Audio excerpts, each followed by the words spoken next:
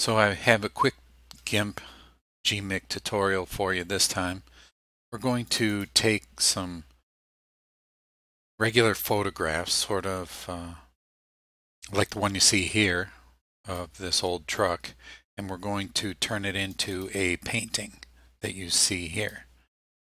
I'll show you a couple of different examples to kind of give you an idea of some of the settings you'll need to get this type of result, the, type you see here, almost like a painted on canvas look.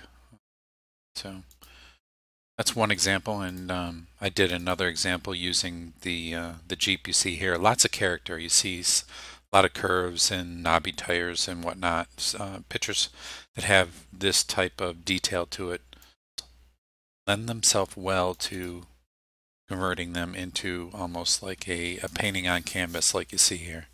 So I turned uh, this Jeep as well into uh, a nice canvas painting. And I'll show you how to do it in this episode of GIMP and the GMIC plugin.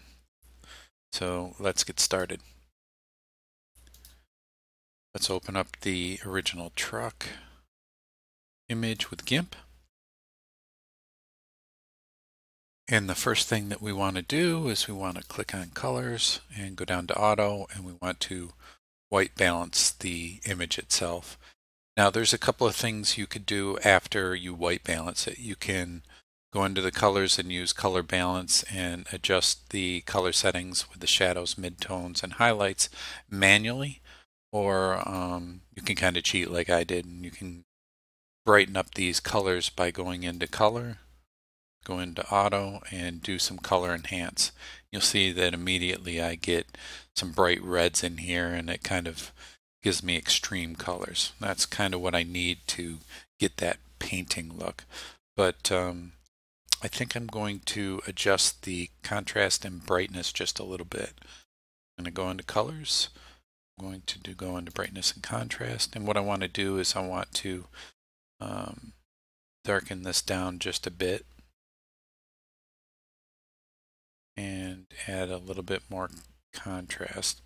What I'm trying to do is I'm trying to get um, some real deep darks here and uh, just make it so that it, it looks I can see some of the detail but not all the detail in the tires and that's what I'm looking for. I'm going to click OK.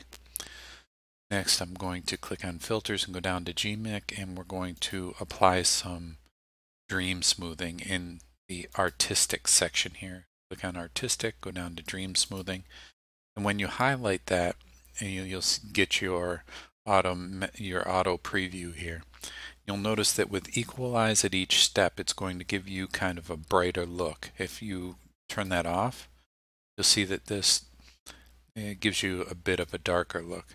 So what I need for this picture, I guess, is a little bit lighter look is what I'm going for. So I'm going to make sure that that is selected and I'm not going to change any of the default settings. I three iterations is good as well as everything else here and I'm going to click OK to apply it.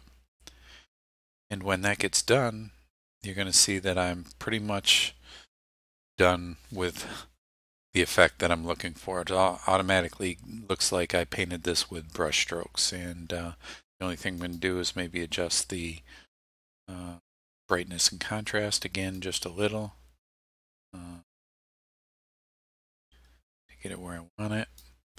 And I'm also going to bump up the saturation a little bit under colors, hue, and saturation. I'm going to see, there we go. Bump up the colors just a little bit so that it looks more like uh, the red hue I'm looking for on the truck. And I'm going to click OK. Now the next thing you want to do to kind of sell the painting look is to actually put a signature in here. So we're going to click on the paintbrush here. We're going to change the opacity down to 50% or around there. And the size of our brush to about 4 pixels. And once you've done that, pick a good spot for your signature and just start painting your signature in there. And at 50% opacity it kind of blends it in Most like that you're using watercolors. Put 16 in here. Now let's go into filters and let's click on artistic and apply canvas. This is going to give it that bumpy canvas look. I think the default setting of four is a little too much. Sometimes I'll use three or two, so we'll use three on this one. And once it's done, there you go. That's uh, how I made the image that I showed you earlier. I'm going to hit the brightness and contrast a little bit because I think it's a little bit too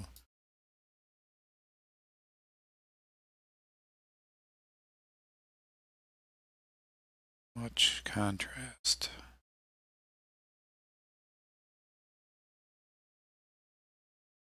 And this is at the end, this is kind of where you're going to play with it to get the, the final result that you want. But um, that's going to be good for this uh, tutorial. I just wanted to show you really quick how to uh, turn a regular picture into a cool looking painting. And that's how you do it. So hopefully you learned something. If you like what I'm doing, click like and I'll see you in the next one.